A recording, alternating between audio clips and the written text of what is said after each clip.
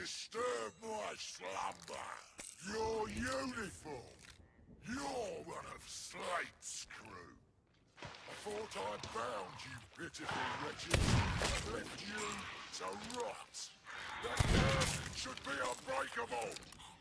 That means you must be an imposter. I don't know why you wear the uniform of the Morning Star, suffer the same fate. Those cowards didn't deserve to reach the shores of gold. They were such worms. One of them jumped overboard the minute she laid eyes on me. I'll cut you down just as easily.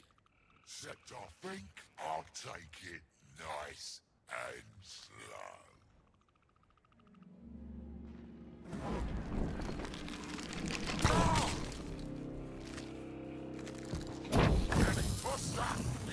An imposter